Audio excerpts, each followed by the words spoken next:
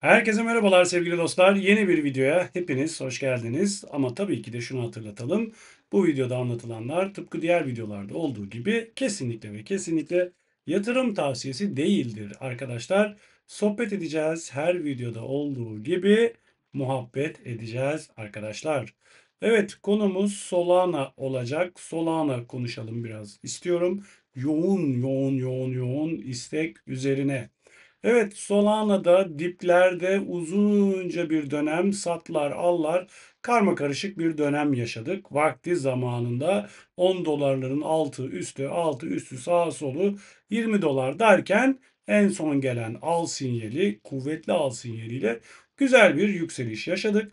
Daha önce nasıl bir akümülasyon yaşadıysak şu anda da yine aynı akümülasyon dönemini yaşıyoruz.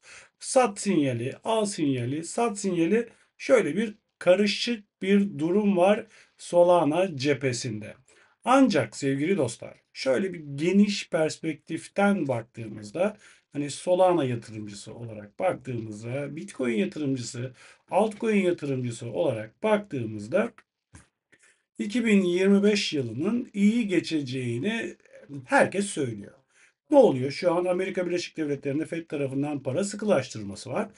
E, bu faizler arttırılıyor ve bu artan faizlerden şu an duraksama dönemine geçtik. Duraksama döneminde şu an işte ilerliyoruz. Her seferinde e, faiz oranlarını FED e, sabit tutuyor. Bir türlü indirmiyor arkadaşlar. Ama beklenti o ki 2024 yılının sonlarına doğru bir veya maksimum iki tane faiz indirimi gelecek. Ve bu faiz indirimleri 2025 yılında da devam edecek. O halde sırf Solana cephesinde değil, genel olarak baktığımızda piyasada güzel bir rally bekliyoruz. Elinde Solana olan arkadaşlar, elinde projesi güçlü olan, Solana'nın muadili olan projeler 2025 yılında güzel para kazanacakları kesine yakın. Tabii ki de kesin değil. Kesine yakın. Ama bu kesine yakın durumda Solana'yı etkileyen faktörlere baktığımızda karşımıza sevgili dostlar bir ETF muhabbeti çıkıyor. Solana'ya baktığımızda Van Erk ve 21 Shares'ın sevgili dostlar yapmış oldukları bir ETF başvurusu var. Ve bu ETF başvuru tarihinden itibaren 240 içeris gün içerisinde e, bunun onaylanmasını ya da onaylanmamasını bekliyoruz. Ne olacak Amerika Birleşik Devletleri seçimlerine baktığımızda şu anki görünen o ki konjonktüre göre Trump kazanacak arkadaşlar. Ve Trump'ın kazanmasıyla birlikte Trump ne demişti? Ben altcoin'lerin, kripto paraların babasıyım demişti. Derhal Solana ETF'inin kabul edilmesini bekliyoruz. Trump başkan olur ise. Çünkü kripto paralarında başkanı verdiği bir söz var. Dolayısıyla baktığımızda da hani 2025'te bir rally bekliyoruz. Evet. Ama ETF onayıyla beraber Solana'daki bu rally daha güçlü bir şekilde bekliyoruz 2025 yılında. Hocam 2025 yılına kadar kim öle kim kala diyenler olacaktır. Buraya kadar anlaşılmayan bir şey yok herhalde değil mi? 2025 yılında Solana yatırımcısı kesine yakın bir şekilde para, güçlü para kazanacaklar. Sağlam para kazanacaklar arkadaşlar. Buraya kadar anlaşılmayan bir şey yoktur diye düşünüyorum. Kısa vadede ne oldu arkadaşlar? Kısa vadede de şu an hani dedik ya projesi sağlam coinler diye. Solana'nın projesi oldukça sağlam, oldukça başarılı bir proje arkadaşlar. Şu an ayakta durmasını da en fazla üzerinde çalıştırdığı meme tokenlar sayesinde oluyor. Her gün yeni bir meme token çıkarıyor arkadaşlar ve bu meme tokenları halka arz oluyor airdroplarla bir şekilde o şekilde bu şekilde halka satılıyor arkadaşlar ve bunu satın almak için halk ne yapıyor? Önce gidiyor Solana alıyor. Aldıkları Solana'ları da o meme token'ı takas yoluyla meme token'lara geçiyorlar. Ve bu arada bir işlem oluyor ve bu arada yapılan işlemlerden dolayı ortaya çıkan Solana karlarında da yakımlar olmasından dolayı Solana ekosisteminin gelir elde etmesinden dolayı da bir artış görüyoruz. Solana o yüzden Bitcoin'de ve piyasada yaşanan düşüşlerden diğer altcoin'ler kadar fazla etkilenmiyor. En son baktığımızda ise Messi arkadaşlar kimine göre dünyanın en iyi futbolcusu, kimine göre dünyanın en iyi ikinci futbolcusu. Hani ilk üçte var Messi'nin sevgili dostlar. Instagram'ında yaklaşık 504 milyon kişinin takip ettiği Messi bir tişört paylaşımı yapıyor. Instagram'ında Water Solana isminde yapıyor bu paylaşımını. Messi Water coin'i pamplatıyor arkadaşlar. Ve Messi yapmış olduğu bu paylaşımdan sonra Water token %200 yükseliyor. Water coin'i nasıl alıyor insanlar? Önce Solana alıyor ve almış oldukları bu Solana'lar sevgili dostlar yukarıya doğru bir pump hareketine neden oluyor. Ve dünden beri yani gece 3'ten bu saate baktığımızda %6.78'lik bir yükseliş kaydediyor Solana sevgili dostlar. Şöyle piyasaya baktığımızda Bitcoin'in %0.32, Ethereum'un %2.60 gittiği bir günde. Göstergeler açısından şöyle bir bakalım. Solana tamam düşen kırıldı yükseliyor muyuz? Uçuyor kaçıyor muyuz diye şöyle bir bakalım arkadaşlar.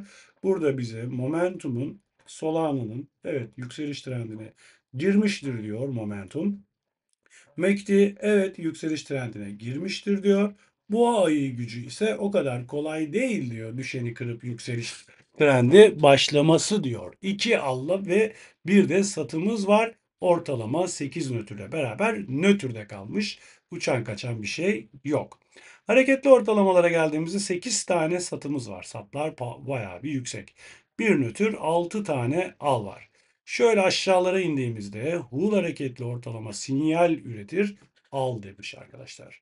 134 dolar itibariyle al demiş bize. Fiyat 140. Hacim ağırlıklı ortalama ise e, yeterli miktarda hacim girmiş mi bu coin'e girmemiş mi bize gösterir. O da 137'nin üzerine atarak Solana yükseliş için yeterli miktarda hacim girişi vardır diye bize ikinci bir sinyal üretmiş. Peki grafik bize ne söylüyor arkadaşlar? Grafik de bize söylüyor ki evet sonunda Solana sevgili dostlar şu an 2 saatlikte kısa vadede bakıyoruz. 2025 uzun vade için zaten problem yok. Oraya videonun başında anlaşmıştık. Kısa vadeli 2 saatlikte baktığımızda 200 günlük hareketli ortalamanın 200 tane 2 saatlik hareketli ortalamanın üzerine attıktan sonra bir yükseliş hareketi görüyoruz. Bu yükseliş hareketi böyle ok gibi gitmiyor. Zikzaklar eşliğinde gidiyor. Altında kaldığında düşüyor. Ve geldiğinde üzerine attığında bir yükseliş, altında kaldığında da düşüyor. Şu anki seviyeye baktığımızda ne görüyoruz?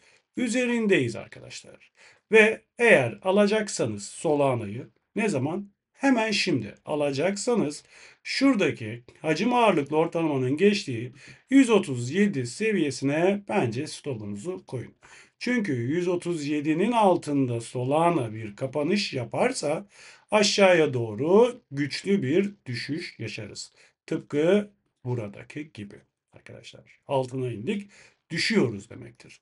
Nereye kadar düşmesini bekleriz? 121. Hatta öyle bir ayı pençesi yeriz ki ta 95'lere kadar düşeriz. Onun için 137'nin üzerinde kaldığımız müddetçe Solana cephesinde hiç ama hiçbir problem yok. Baktığımızda burayı kırması biraz zor. Buraya vurmuş, kıramamış. Vurmuş, kıramamış. Burası zaten tepe.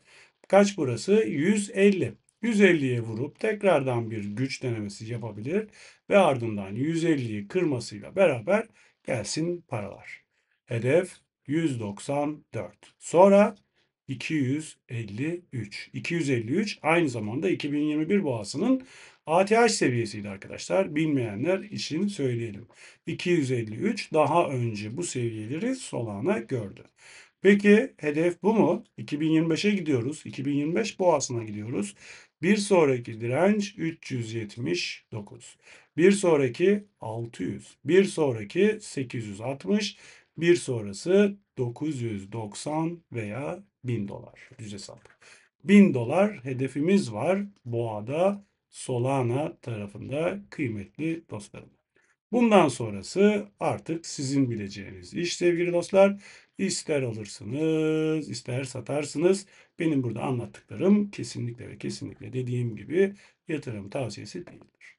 Uzun vade tutacaksanız Solana iyidir, güzeldir.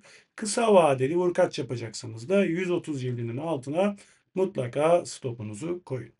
Bu arada mini bir hatırlatma. Videonun hemen altına yorumlar kısmına kullanmış olduğum borsaların linkini bırakacağım. Özellikle Gate.io borsasına üyelik oluşturup portföyünüzü Gate.io borsasına aktardığınızda Gate.io borsası alsat ve sohbet grubumuz var. O gruba gelmiş olursunuz. Gruba gelmek tamamen ücretsiz. Yapmanız gereken işlemlerinizi Gate.io borsasında referansımızda üyelik açmaktan geçiyor. Bir başka videoda görüşmek üzere. Kendinize iyi bakın. Hoşçakalın. Allah'a ısmarladık.